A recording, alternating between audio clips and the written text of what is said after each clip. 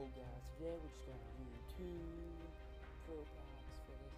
I was gonna get ourselves an elite for the but I find any for a good price. Kyle.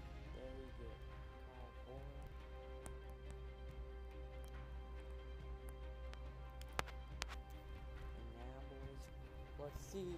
Can we clutch it out? Oh my god, it's a legend. Oh, that's actually pretty good. Mm-hmm.